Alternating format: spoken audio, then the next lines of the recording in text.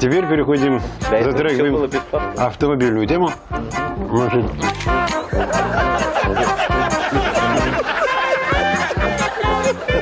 Ну, это вот это, вот- мне очень нравится этот ча-ча-ча.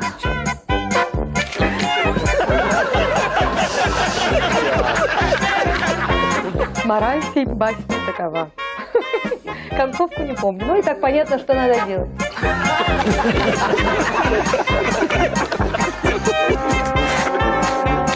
Ну, скажем, при поступлении в ГИТИС, без этого анекдота было нельзя. Горит свеча. Анекдот, которому 500 лет. Горит свечка, подходит.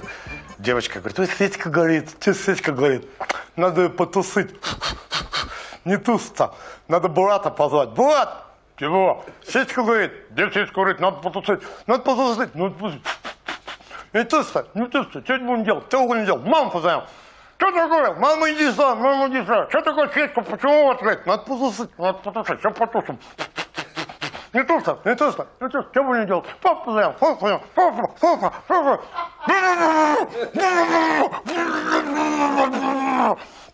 Не туста, не туста, не туста, не туста. Что будем делать? Бабушка, бабушка, бабушка. Подходит бабушка. Ой, здесь трешки проклятые.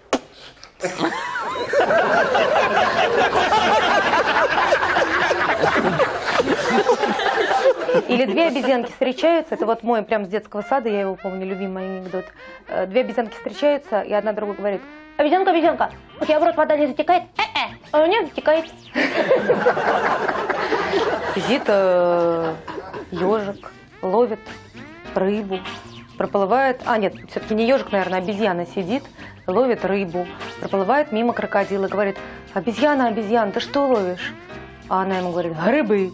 А он, а он говорит, обезьяна, ну какие грибы? Ну здесь же нет грибов, это же река. Грибы, грибы отсюда. Человек сидит, э, ловит рыбу. Сидит, кайфует, утро там. Птички начали петь, что-то туман такой. И он сидит, о чем-то кайфует, там думает, рыбку ловит. И вдруг выныривает корова около лодки. Выныривает такая, губки накрашены, ресницы, там сережки, там какие-то там. Доброе утро, говорит. Доброе утро, говорит корова. Скажите, пожалуйста, а это тот берег или этот? Он говорит, ну это, это этот берег.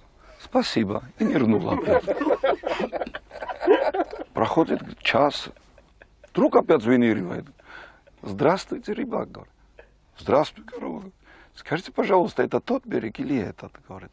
Так глазками так хлопает. Это этот берег? Говорит. Спасибо, опять нырнул. Проходит еще час, опять выныривает. Здравствуйте, рыбак, говорит. Здравствуй, корова, здравствуй, говорит. Что тебе надо, говорит. Скажите, пожалуйста, это тот берег или этот, говорит. А вам какой нужен, говорит. А мне пофигу, я долбанутая. Следующий анекдот вот про ежика. У нас там на заднем плане есть ежик, и я вспомнила анекдот про ежика. Сидит ежик на пеньке и медитирует. Медитацией занимается. Я сильный, я сильный, я сильный, я сильный. Проходит мимо медведь. Бац его лапой.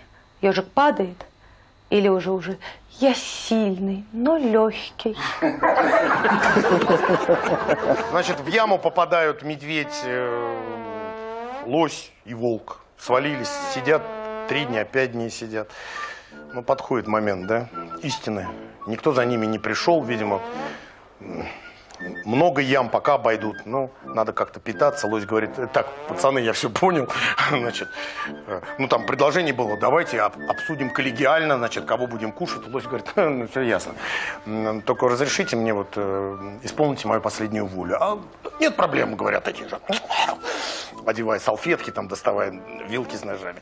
Он говорит, у меня мама перед смертью сказала, ты когда будешь, сынок, сам умирать, у тебя в попе стоит клеймо надо прочесть, что там написано. Прочтите, скажите мне. Ну, те, значит, заходят сзади, тот встает в позу, чтобы поудобнее было.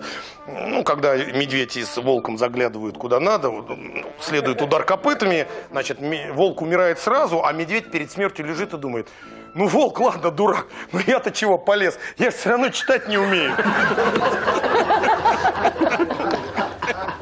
А про попугая есть еще один хороший анекдот. Э, можно, да? Как, э, значит, в гостинице у портье попугай. И постоялец спускается утром, и он на него, этот попугай, как напустился. Да ты сволочь, ты скотина, да ты ничтожество. Он так, не понял. Ну, прошелся. На второй день опять спускается, он говорит, да ты негодяй, да ты подлец, да ты вообще ублюдок. Ну, да что это такое? Пошел к начальнику гостиницы. Что это у вас за попугай такой? Что меня оскорбляет каждое утро? Смотрите, я съеду с вашей гостиницы, если вы никаких мер не примете. Он говорит, извините, извините, все, все, все, меры будут приняты. Ну, на следующее утро он опять спускается, проходит мимо попугая, попугай так. И так на нем. Ну, в общем, ты понял. Это хорошо. Еще есть такой... э, Ну, я знаю, э, э, из советских времен очень много хороших анекдотов, но э, э, причина сама, вот сама фабула устарела, поэтому... да. Даже был такой, когда... Это было очень модно где-то конец 40-х, начало 50-х годов. -то. Проходят два еврея мимо, мимо КГБ. Из ворот выводят верблюда. Он тихонько говорит, смотри, Фима, смотри, что эти сволочи с лошадью сделали.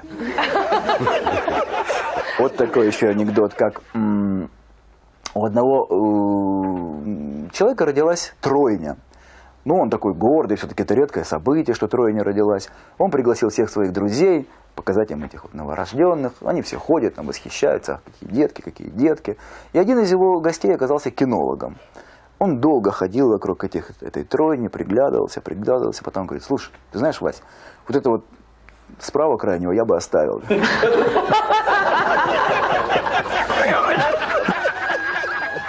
на цыпочках, значит, допить. Значит, с бутылкой на цыпочках э, муж и приятель на кухню. Тихо, не включай свет. Где сядем, Достали так, значит, э, какую-то закуску, значит, наливает. Он говорит, слушай, я у тебя не был. У тебя, тебя что, две комнаты? Две. Вот, вот гостиная, а вот спальня, говорит. Слушай, спальня хорошая. А то как, как ты там спишь? Ну, а жена, говорит, а с ней, говорит, не буди, на троих будет мало, не буди. Ну, наверное, старый анекдот всем известный, когда э, жена с мужем в шопинге, и она говорит э, в магазине Бюстье, дорогой, купи мне, пожалуйста, вот этот комплект белья. Он говорит, дура, зачем? У тебя выброшенные деньги, у тебя же тут ничего нет. Он говорит, знаешь, говорит, невзирая ни на что, я тебе трусы покупаю.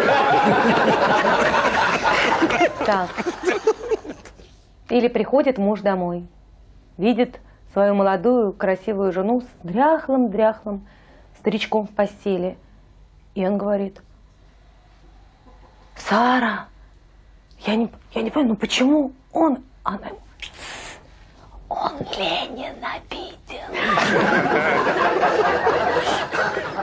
Очень хороший, да, замеч- замечательно. А муж жене говорит, знаешь, говорит, была бы ты чужой женой, цены бы тебе не было. Из серии, когда давай, говорит, я тебя по-бразильски. Это как? Ну, говорит, по-бразильски ты, значит, так, сяк. Все дело сделали. Она говорит, а где по-бразильски? Он засыпает. Ча-ча-ча. Ну, говорит, муж, жена, там треугольник. Входит муж, жена с любовником. Он, говорит, так, одевайтесь, я сейчас с вами поговорю. И закрывает, даже хлопает дверью. Жена открывает дверь, говорит, нет, не уходи, посмотри, как это надо делать.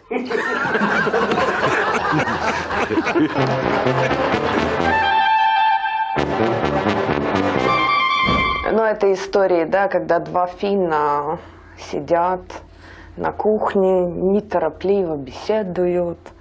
И один другого спрашивает, скажи, а ты что любишь больше, Новый год или секс? Тот думает, думает, думает. Знаешь, Новый год. Он говорит, а почему? Чаще. И второй анекдот тоже два эстонца. Ну, тоже, наверное, знаете, они решили отправиться в такое путешествие на лыжах. Вот три месяца они на лыжах, значит, там объездили, так сказать, Финляндию, там, неважно, Эстонию, в общем, всю Прибалтику. Вместе с Скандинавией они на этих лыжах обошли. И вот они уже приближаются к родному хутору, и один говорит, ты знаешь, это три месяца мы не были дома. Я так соскучился по своей жена, что сейчас я, когда домой приду, я сниму лыжи и сразу лягу к ней в постель. Второй говорит, а я даже лыжи снимать не буду. А когда два финна стоят, стоят, и вдруг что-то пролетело. Через полчаса один спрашивает, кто это? Второй говорит, через полчаса, это Иво Хаккинен, позор нашей нации. Ну, двое эстонцев разговаривают, один говорит другому, слушай, Петр, ты знаешь, я построил дом. О, молодец, Янис, а сколько у тебя там комнат? Одна. Почему одна? Ты знаешь, меньше не получалось. А, ну эстонские это не рассказывали? А, сейчас я расскажу. В общем, короче, значит, э, едет э, в поезде эстонец в одном купе, э, значит, эстонец, его жена и некий чех, ну, э, русский. И вот русский, а жена очень страшная у этого эстонца, и русский все время так, с такой жалостью на нее смотрит, и на этого эстонца, и, ну, очень видно, что за него переживает, что с кем ему приходится спать вообще, так сказать. И он вышел покурить, эстонец вышел вместе, и он говорит, ради бога, простите, это ваша су- су- супруга? Он говорит, да, это моя жена, да.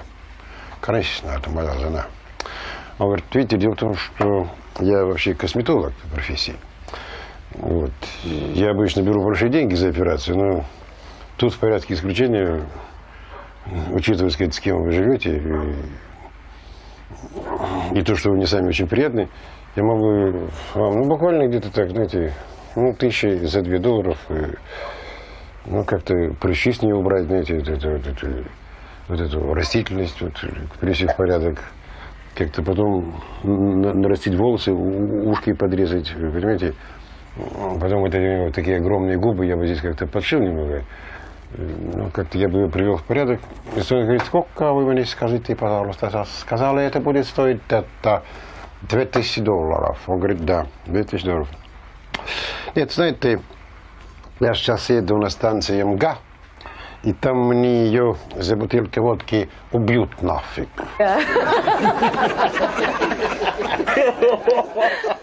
А, вот, вот, вот, вспомнила, вспомнила. Э, Значит, муж жутко жил с женой. Ненавидел свою жену, просто страшно. Уже хотел ее убить. Из серии из серии анекдоты, из серии взаимоотношений мужчины и женщины.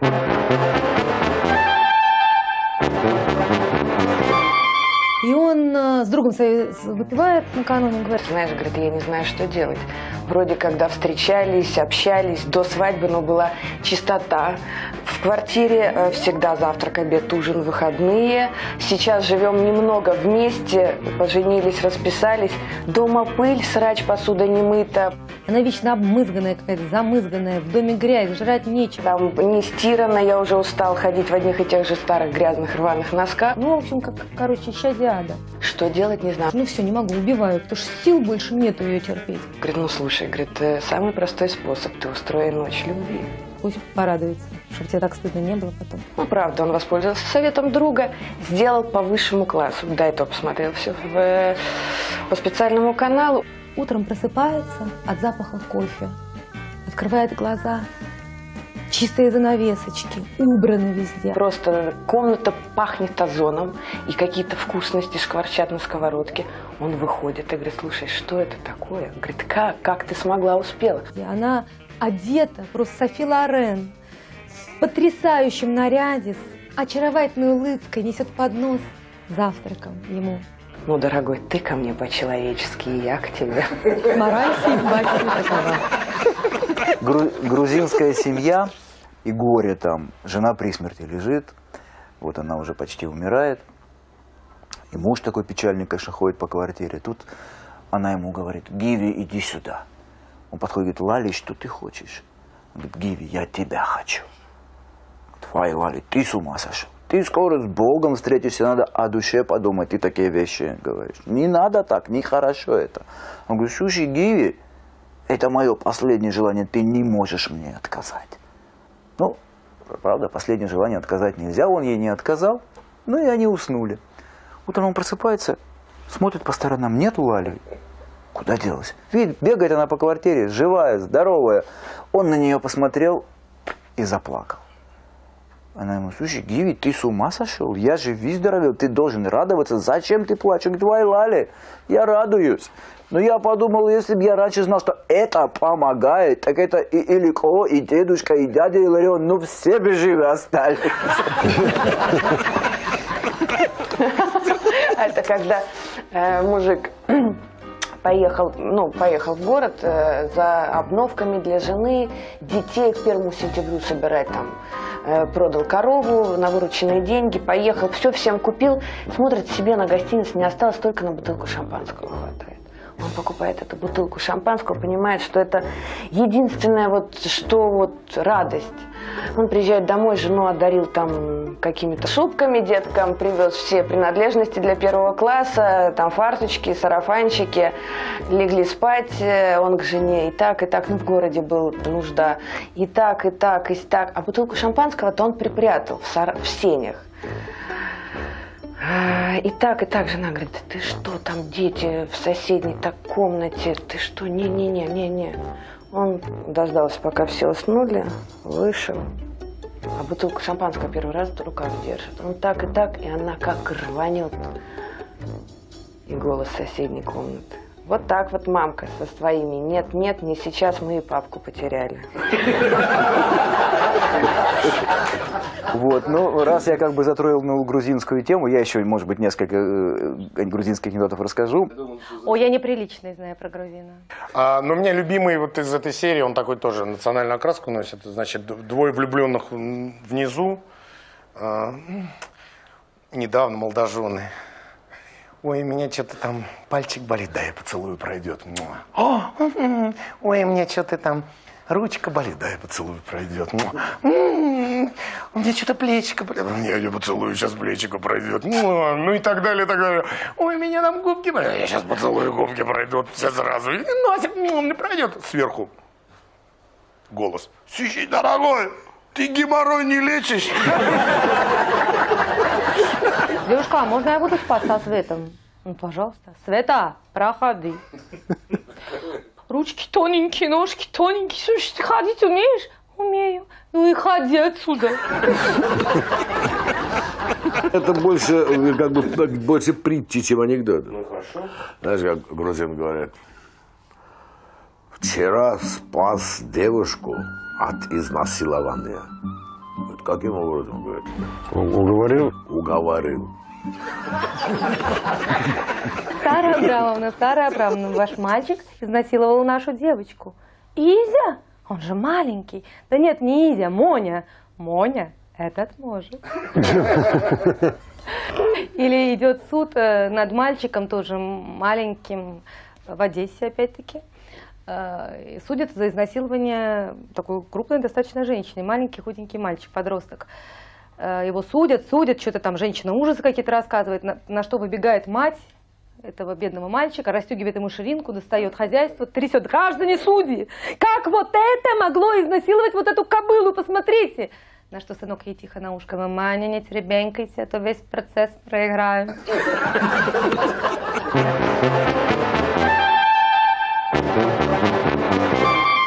Вот цветы стоят, я сказал, про, про цветы.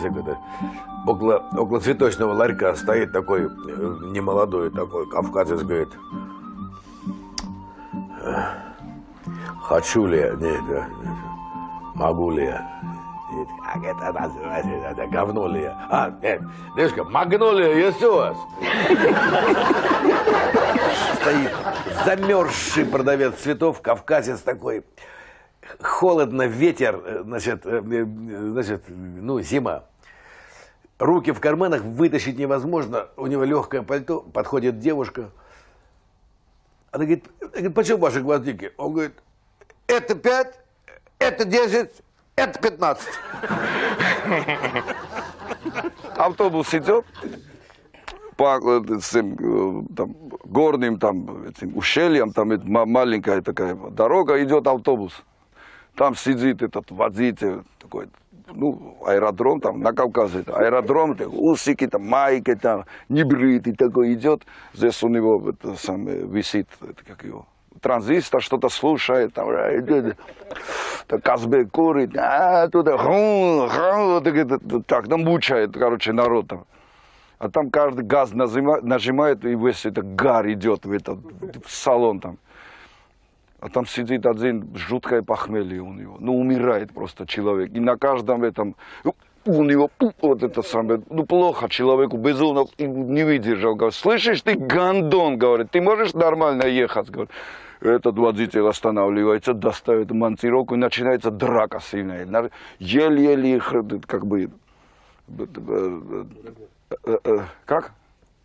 Разняли, да. Разняли еле-еле, он садится опять за, за руль, а продолжает. И вдруг подходит эта самая бабушка, такая маленькая, такая высохшая в черном. Гандонджан, сынок, он же правильно говорит, ты не можешь нормально ехать.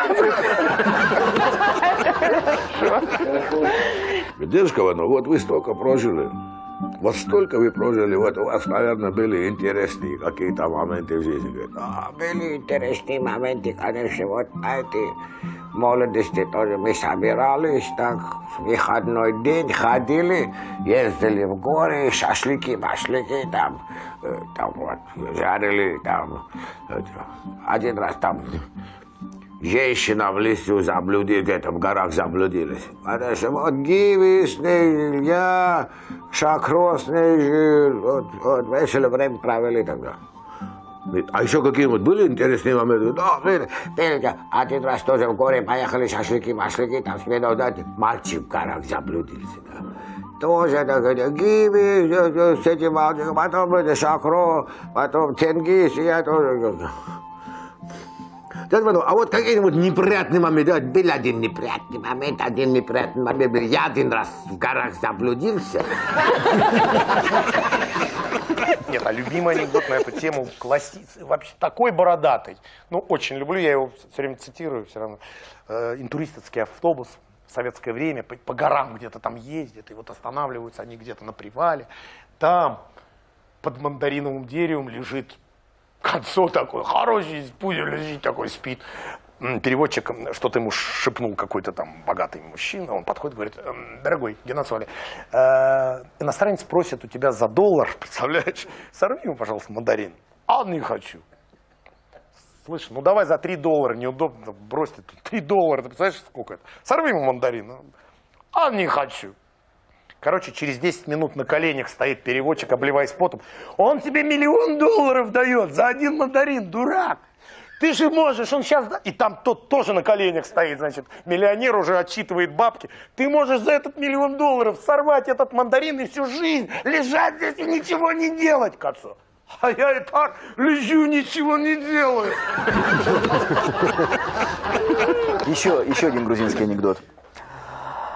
Значит, едет грузин на запорожца. Ну, едет на запорожца и едет себя. Тут ему навстречу другой грузин на «Жигулях». Останавливает его, говорит, слушай, ты что, с ума сошел? Что у тебя за машина в самом деле? Ты же позоришь всех нас, всех грузин позоришь, потому что у тебя такая вонючая машина. Посмотри на меня, я всего один год как из тюрьмы вышел, какая у меня машина. Тебе стыдно должно быть. Тот махнул рукой, дальше на своем запорожце едет. Но встречу ему другой грузин едет уже на Волге. Тоже его остановил, говорит, что ты делаешь? Ты забыл, что у тебя папа грузин был, мама грузин, дедушка грузин.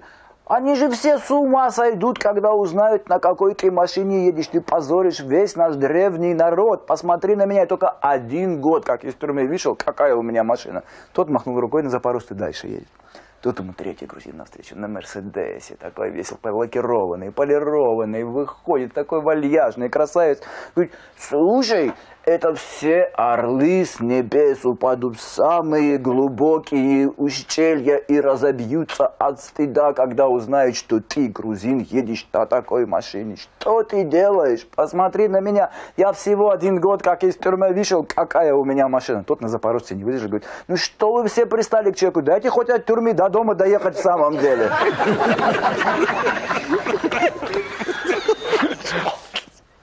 Тбилиси. А русский турист облика морали говорит, дорогой, извини, пожалуйста, как мне пройти на улицу Шатара Ставели? А, это очень просто. Смотри, значит, падаешь прямо, свернешь налево, потом спустишься вниз, потом поднимешься на гору, направо, прямо, вниз, еще раз налево. Испуганный турист. Подожди, я не понял. О, сейчас. Значит, повторяю еще раз. Пойдешь прям. ハハハハ!